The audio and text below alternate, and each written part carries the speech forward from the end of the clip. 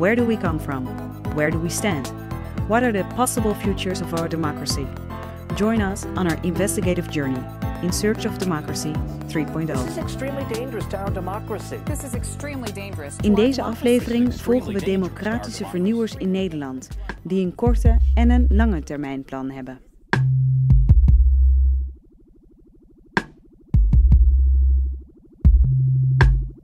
Democratie. Je vraagt wat is democratie? Misschien is alles wat een mens maakt fictie. Gaat de frictie om interpretatie als bij een lezing in een zaaltje. Dat het een open mic is. Dat elke stem nu crème de la crème is. Allang niet meer alleen Den Haag is. Wat zou hier nog moeten veranderen? Ja, het weer. en dan is alles perfect.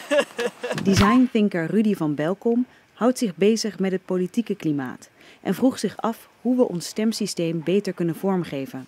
Hij bedacht een modulair kiesstelsel waarbij je stemt per thema in plaats van op een partij. Want we leven nu eenmaal in een ontzelde modulaire tijd, waarin we onze krant zelf samenstellen en we een beetje links en een beetje rechts zijn. Ik ben zeg maar, misschien op sommige puntjes links en op sommige puntjes rechtser. Maar dat maakt me als mens gewoon ook een soort van individu en een geheel. Dat is niet zozeer tegenstrijdig.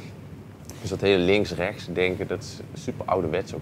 Mensen passen daar niet meer in. Welke kant beweegt het op? Is het water dragen naar de zee? Is het meedoen of vergeten? Welke kant beweegt het op? Is het water dragen naar de zee? Wat doe je met de duizend vragen? Ik vind dat er toch goed voor ons gezorgd wordt. Hier en daar een beetje minder met uh, ouderdom en oudere mensen en oudere huizen. Wie bepaalt nou de toekomst van de, deze aardbol? Als elke democratie, uh, elk land vier, om de vier jaar uh, van een regering verliest. Als jij in een land te gast bent, vind ik gewoon dat jij je zo, zo moet gedragen. En als je die doet, ja, dan ga je gewoon weer terug. Ik geloof wel dat hè, vanuit het Grieks democratos, macht bij het volk, dat is natuurlijk niet helemaal waar. Hè, dat mensen echt macht hebben. Ja, wij dragen onze stem eigenlijk over aan volksvertegenwoordigers en die moeten ons representeren. En daar zit denk ik nu ook precies het stukje ontevredenheid, dat mensen zich dus niet gerepresenteerd voelen. En er zijn ook een aantal onderzoeken gedaan en over het algemeen zijn mensen eigenlijk best wel tevreden met de democratie. Alleen niet met de manier waarop het wordt ingericht en vooral niet met hoe volksvertegenwoordigers dus namens hun handelen. Avond. Rudy is een man van lange adem. Hij zegt 20 jaar nodig te hebben voor de transitie naar zijn nieuwe kiesstelsel. Maar, zegt hij, dat is ook nodig, want de wijze van kiezen is sinds 1850 niet meer veranderd in Nederland. Het nieuwe kiezen ziet er zo uit. Dus dit is een politieke partij, dit is eentje, dit is eentje. Dus je zou kunnen zeggen, nou voor defensie kies ik voor deze, maar voor educatie kies ik voor deze. En misschien is er dan nog wel een andere partij waarvan je zegt, qua hun cultuurplannen, spreekt mij hier wel aan.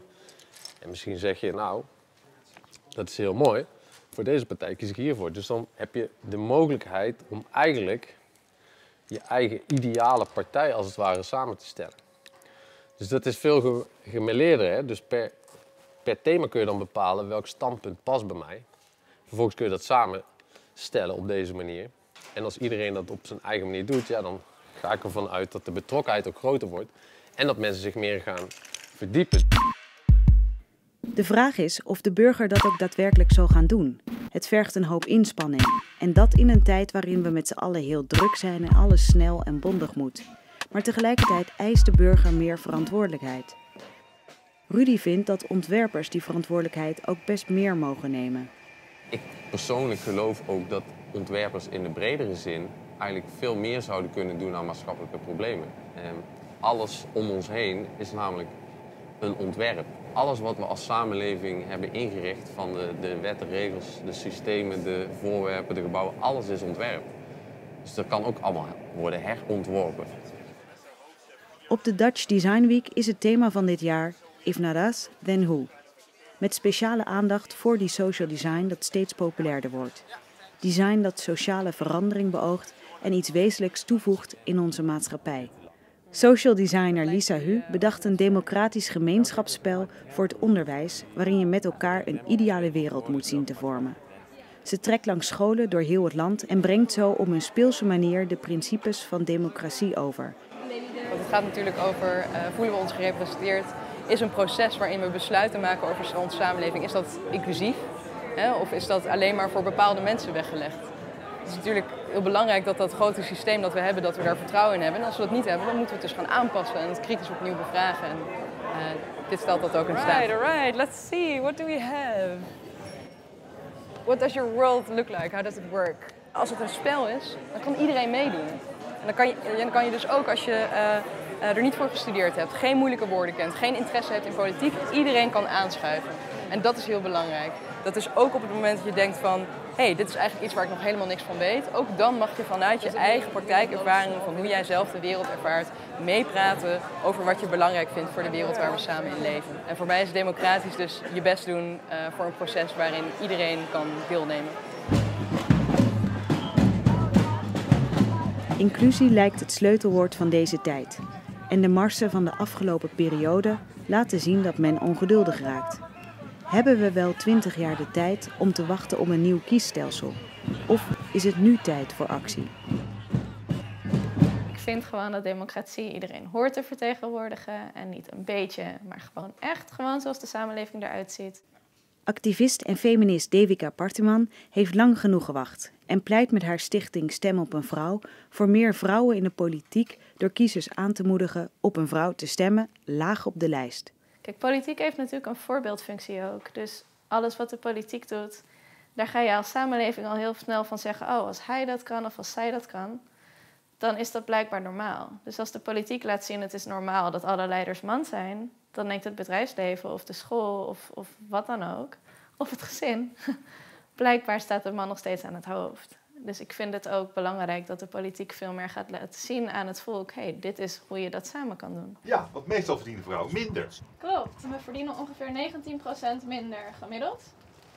Dus uh, ja, die uh, twee tientjes extra erbij gemiddeld bij de gemeente, dat is, uh, ja, is toch weer een beetje boodschap om in te houden. Op dit moment doen politieke partijen gewoon, naar mijn mening, niet genoeg om echt een afspiegeling te zijn van de samenleving. Dus moet je stemmen op kandidaten die op dit moment denk ik ondergerepresenteerd worden. Zoals op vrouwen, maar ook op mensen van kleur. Op, nou ja, in deze tijden denk ik dat het ook heel belangrijk is om uh, moslims een grotere politieke stem te geven. Hier dan maar. Er is een quote, ik weet even niet meer van wie. En die zegt iets van: You can't be what you can't see. Dus je kan niet zijn wat je niet ziet politiek is gewoon super belangrijk. En als je je meer herkent in die politici, raak je automatisch wel meer betrokken, denk ik. Het is natuurlijk heel makkelijk om nu achterover te leunen en te zeggen: Nou, ze doen niks voor ons, dit, dat. Maar dat is ook omdat mensen niet het gevoel hebben dat iemand daar hun stem vertegenwoordigt. Dat is soms een kwestie van beter kijken, maar soms is het er echt niet. En als het er echt niet is, dan moet je dat echt oplossen. Schijn licht op wat er ongezien, maar niet minder aanwezig is. Is wortels die onder de tegels van deze stad als ongeschreven regels zijn. Je bent te klein, je bent te veel te veel fijnstof in de lucht. Onderstreep wat niet goed is. Maar kijk ook naar wie er wel wat doet. Blockchain, bitcoin, vrij revolutie. Eigen bouwen van de mensen als munitie. Het zijn de vragen die je meedraagt. Welke kant beweegt het op? Is het water dragen naar de zee? Is het meedoen of vergeten?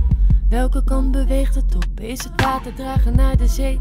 Wat doe je met de duizend vragen? Welke kant beweegt het op? Is het water dragen naar de zee? Is het meedoen of vergeten? Welke kant beweegt het op? Is het water dragen naar de zee? Dan zijn we toch weer in Den Haag.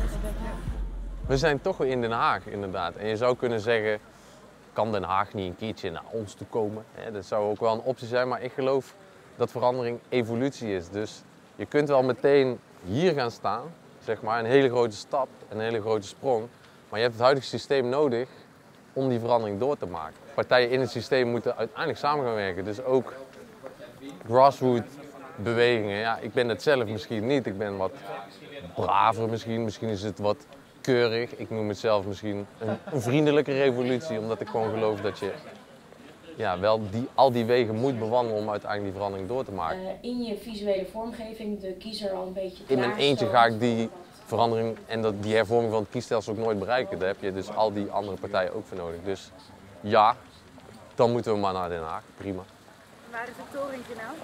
Ja, ik zat net te kijken. Ik zie een paar torentjes. Maar is dat- is dat het torentje dan? Super dom eigenlijk maar, dat ik dat niet weet. Maar eigenlijk boeit het me ook niet, als ik heel eerlijk ben.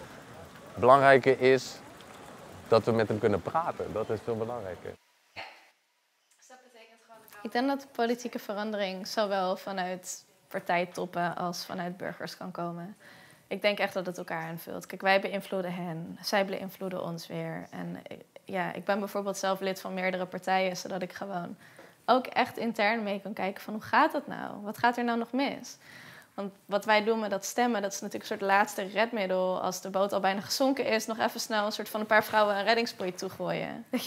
Heel dramatische metafoor, maar dat is wel wat we doen. Het veel liever heb je natuurlijk eerder invloed en zorg je dat die kieslijsten gewoon goed zijn. En dan heb je toch wel echt een partij nodig en intern draagvlak en mensen die zich daar binnen hard maken, die stemmen vergroten. En dat is nog best wel tricky.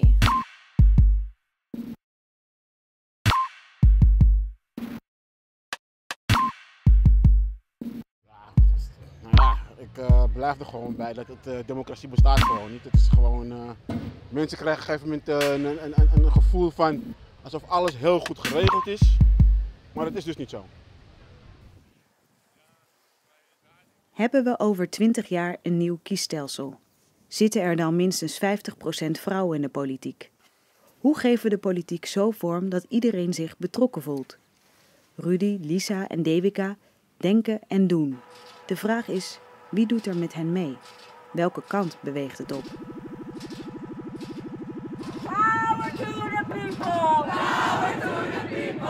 The people got the power! The people got the